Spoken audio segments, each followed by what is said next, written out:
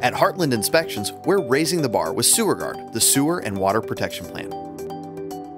With every full home inspection, you'll receive free of charge our exclusive SewerGard protection to cover failures in the water and sewer lines you can't see and your inspector can't inspect underground between your home and the street.